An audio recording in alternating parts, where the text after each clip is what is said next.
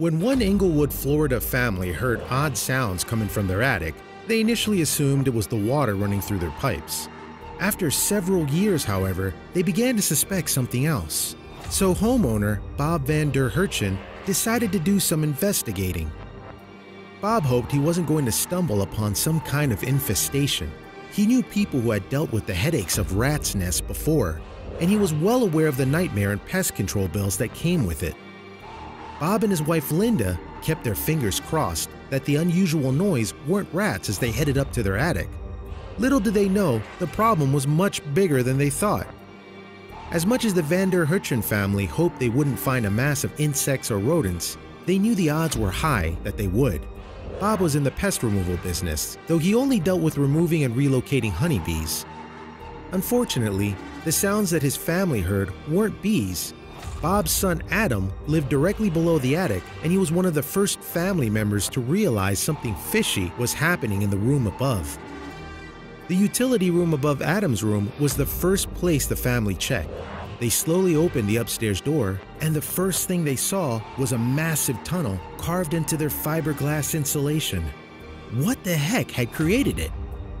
As Adam, Bob, and Linda all stared into the mysterious gap in the insulation, Adam suddenly spotted what was causing the sounds. That was when the family completely freaked out.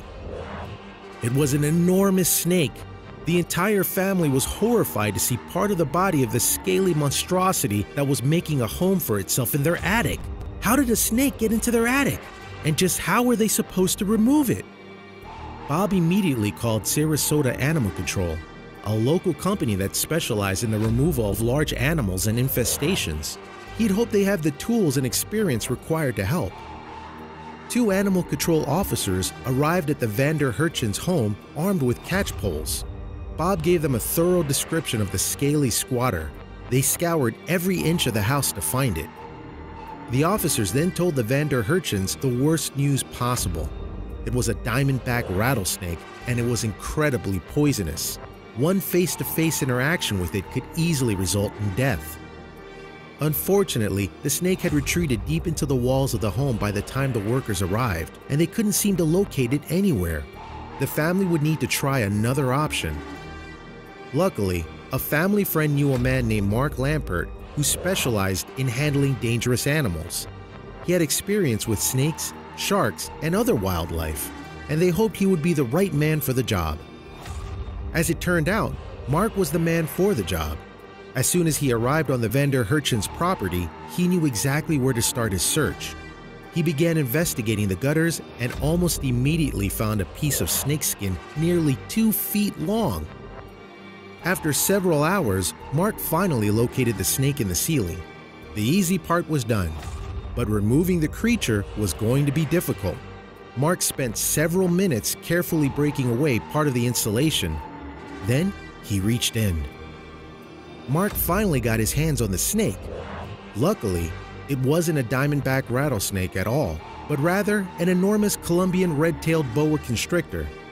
This snake wasn't poisonous, but it was large and strong. If mishandled, it was still deadly. In one quick motion, Mark yanked the snake out of the ceiling and quickly positioned himself so the reptile couldn't do any damage. The snake was enormous, but fortunately, Mark remained calm throughout the entire process.